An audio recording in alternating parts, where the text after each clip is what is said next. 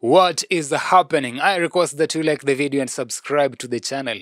There was rumors that Kajala and Paula had jetted back into Tanzania and there was a video going around showing them at the airport all covered up. You couldn't tell whether it's them or not.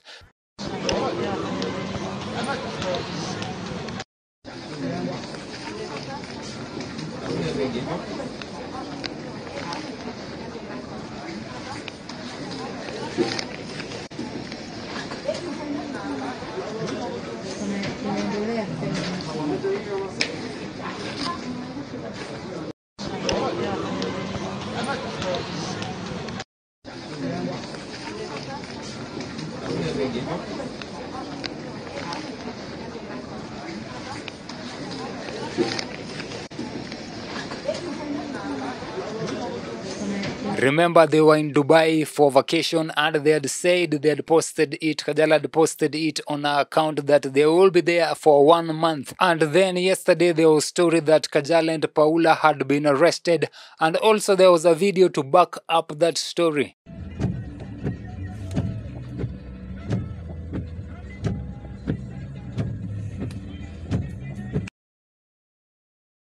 Thank you.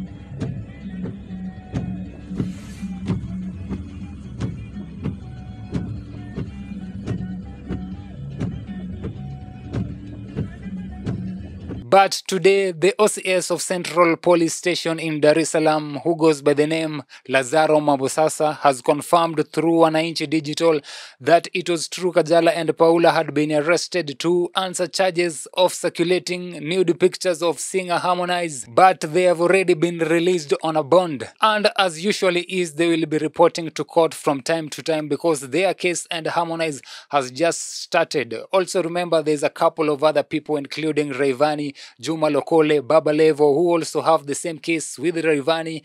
Yeah, I see a low case battle coming on. Yes, thank you for watching. That is it for now. Remember to hit the like button and subscribe.